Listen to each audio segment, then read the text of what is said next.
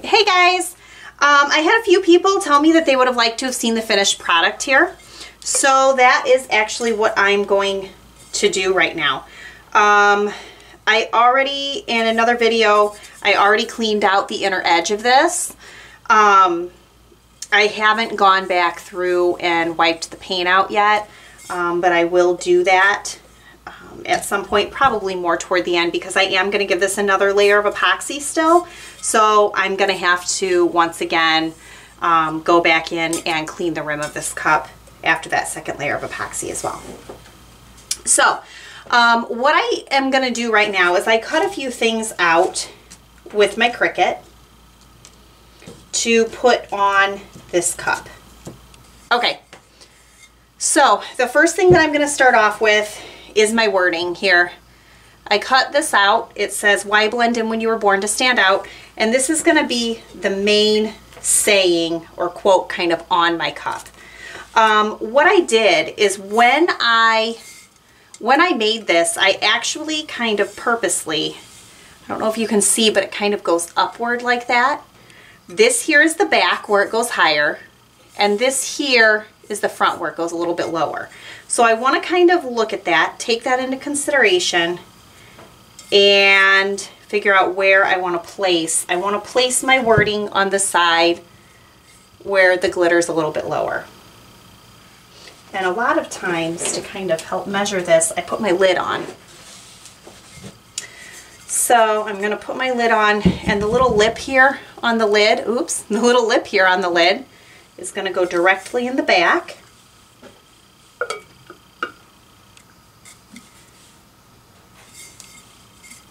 You know what, I'm going to do it the opposite way.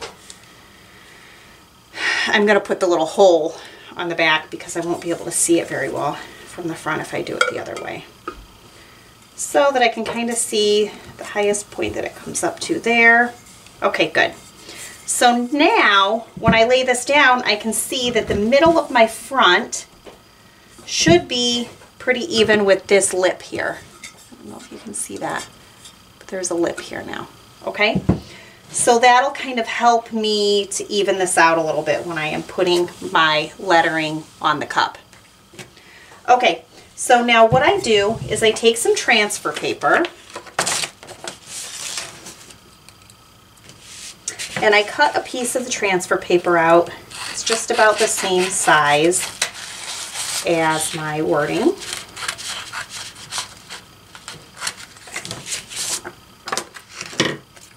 It's just a clear, clear paper and I peel it off and then I lay it right on top of my saying. And now, uh-oh, I forgot one tool. One of my Cricut tools. Where'd it go? Where'd it go? There it is. Huh. Um, I'm going to take this little scraper and I just kind of push, uh oh, you can't see that. I just kind of push this transfer paper onto it really well. You want every little bit of that to stick, and especially with a font, like this font has some really skinny parts. So I really want to make sure that I'm making it all stick to that transfer paper really well. if you don't have something like this, you can use the edge of a popsicle stick. I will sometimes even use the edge of my um, tweezers like that to scrape it down. Anything, you don't want it to be sharp. You don't want it to cut or like really scrape color off or anything. Um, but you want it, you know, to stick really well. And now we're just going to take this and slowly put, see, it's still not all coming off. So I'm going to do that again, although to be honest, I don't know that I got that part very well. Okay, so now I'm going to slowly peel this off. Good, now it's peeling off pretty good down there. Not so much on the top. Nope.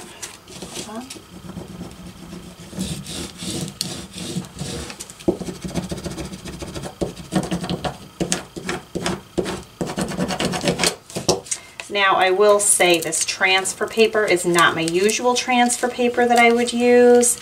It is a transfer paper that I got free with something and I don't think it's quite as sticky as what I usually use, which I think is why I'm having this issue here. But it was free, so I thought I would give it a try. And I don't think I'll be buying it again. Okay, so I got that off. So now that I got that off, got it on the clear paper, and now I'm going to lay this down. I know kind of where my middle is because I've got that lip and I'm just going to kind of eyeball it here to where I want my saying. I'm going to try and make sure that it's straight, as straight as you can possibly get it. Perfect. And now once it's on, push it down really, really well and. Then we will slowly pull off. Gotta be very careful with this one because this was a very delicate font. We'll slowly pull off um, the contact paper. So after you do this, if anything kind of got messed up or anything, you can always take, I always just kind of take my weeding device and go through and fix anything that might have gotten a little cockeyed. Most of it's really good, but this bee kind of pulled up. And then wasn't quite how it should have been. There we go. That's better. Okay. So there we go. Got our saying on there. Looks really nice with this glitter down here. And now I'm going to do the fun stuff. I've got some peacock feathers that I made. So I'm going to do the same thing. I'm going to put this on my transfer paper. I will typically sometimes try and use the same transfer paper over again. Um, this transfer paper doesn't, like I said, doesn't seem to be the greatest, so I don't know that I'm going to be able to as well, but I'm going to try. I don't like to waste it. There's usually enough stickiness on it to last for several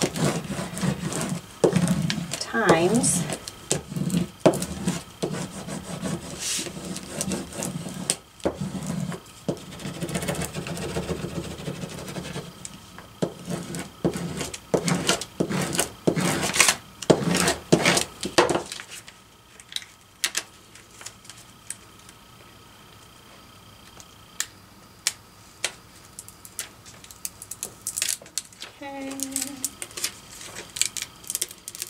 This one worked a lot easier. Perfect. Okay, so now I'm going to place these. okay, so now I'm going to place the peacock feather. Now, how I think I'm going to do this is I think I'm going to do this one going this way, kind of on the side here and sweeping around.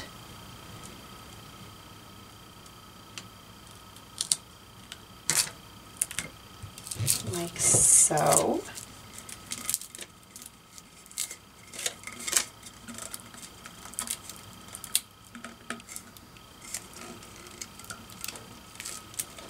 Okay, that's good.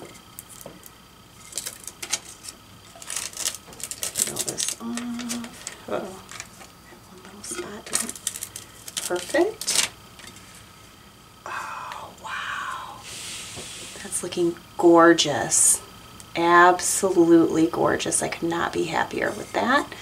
And I like how I kind of blended it down. I, I put part of it down into the um, chunky glitter as well.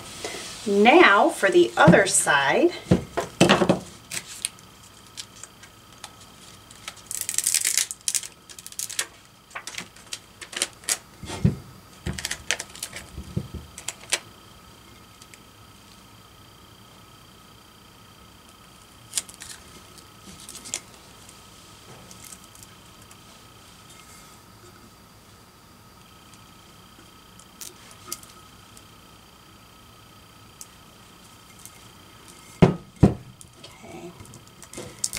lay this one here. and actually, I think that now that I've laid these where I want them, I see an empty spot because I wanted it to kind of be sporadic. I didn't want it to necessarily be like one's here, one's here, one's here. I wanted it to be kind of like this one's off to this side and this one's off to this side. And that's what I got. I kind of have this one going this way and this one coming up this way.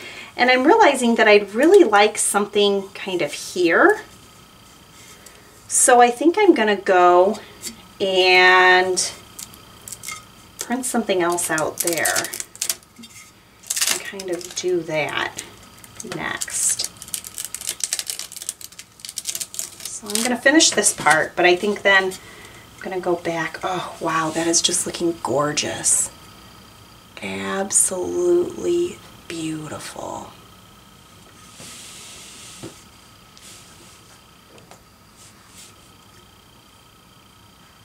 Yeah, I definitely need something here. I think maybe I'll just do like one small like little bit there. And I love the color that I chose for this. It's that same color that I used for this that's got like the greens, the blues, and the purples, just like a real peacock feather. I wish that you could see, I wish that you could see the colors in this as well as you can see them in person. All right, so now I've got my, I've got my little pieces that go kind of in this part of the feather. And that's what I'm going to do now. Uh oh I'm missing one. I probably left it over there. Or dropped it or something. Oh, yep, I dropped it on the floor. So I've got these colors. This one kind of might look kind of funky there, but it's it's like a light purpley white. And then this one's like a dark purple. And then this one here is like a really dark iridescent blue. And that's gonna be like the eye of my peacock feather. Okay, so I've added here. I have my saying here. And then if you slowly turn it, I've got a couple of peacock feathers here. And then I've got this one kind of off to the side. And we're back around to the beginning again. So I'm pretty happy with it. Um, what I'm going to do now is I'm just going to epoxy this. And finish it up. Okay, so now for this one, I am going to epoxy it. I decided I didn't really need to show you how to mix epoxy. If you need to know how to mix it, you can watch um, one of my other videos where I do that. Um, I show you how to mix it really well. Actually, I think in my um, glitter swirl video. So you can go back and watch that one if you need to know how to do that properly. All right, so this is ready to go. And what I am going to do now is I am going to start epoxying this. Now you have to be really careful because like with this one, there are a lot of like really tiny pointy ends here and I don't want any of that to come up when I'm epoxying it. So I tend to move the epoxy in ways that kind of push those points down as much as possible. I'm just going, I don't, I don't have the epoxy on it yet. I'm just going over it really quick, making sure that nothing is sticking up before I get started here. It looks pretty good. So I'm gonna start putting the epoxy on. I filled each medicine cup about three quarters of the way full for this one. And now I'm just gonna get started. Pouring a line and kind of pushing it around.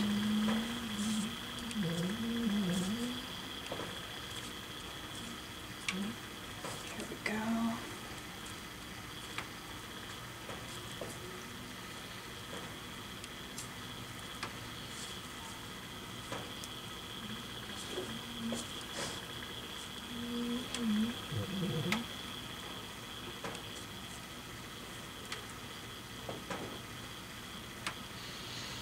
Okay, and I'm pushing it over. I don't know if you can see it, but I am pushing it over the edge at the top as well.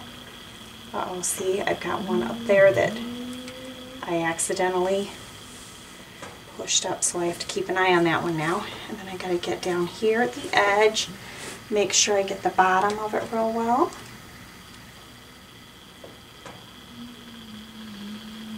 I might still, yeah, that one's still coming I'm going to have to keep a good eye on that one. Um, but I might still need to do another coat on this. I won't know for sure until it's until this coat's dry. That part's down now, so that's good anyway. Okay. It's looking pretty good.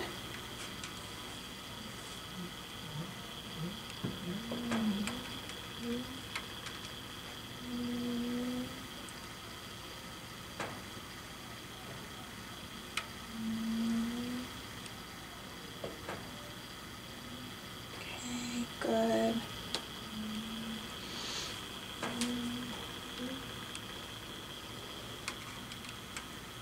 Okay. So now what I'm going to do is I take these gloves off. Be careful. And I'm going to take my heat gun, put it on medium. Uh-oh, it's not plugged in.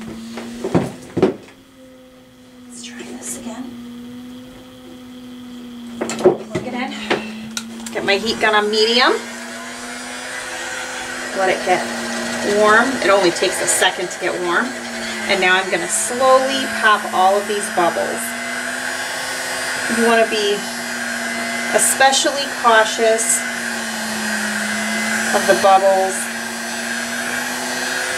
on top of the um, on top of the vinyl. That'll be the most noticeable.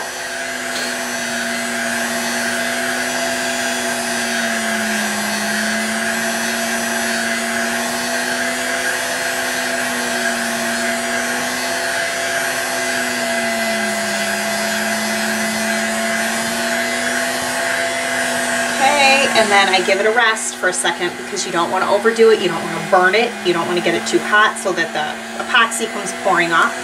I'm going to get the end too, I didn't get that. And then I'm just going to kind of look at it and watch it and see if there's any spot that needs it. I actually think it's looking pretty good right now. A little bit there. I, I was pretty careful when I mixed it to not get too many bubbles in it. So I think we're pretty good. So now I'm gonna let that, gonna let that rotate for about an hour and then after it's rotated for about an hour, I mean I'm gonna keep it rotating, but once it's been rotating for about an hour at that point then I'll um, probably put my heater on it. The heater just kind of helps it um, cure a little bit faster. I might actually, because it is evening, um, I might actually just leave this as is for the night and then maybe tomorrow put the heater on it um, to help it with that final cure there. Um, it just, it really depends. Um, if I'm too tired to wait up, then I won't. All right, so this is that finished product of my chunky glitter um, that I showed you in another tutorial. People were asking me and saying that they wanted to see the finished product. So um, this is it.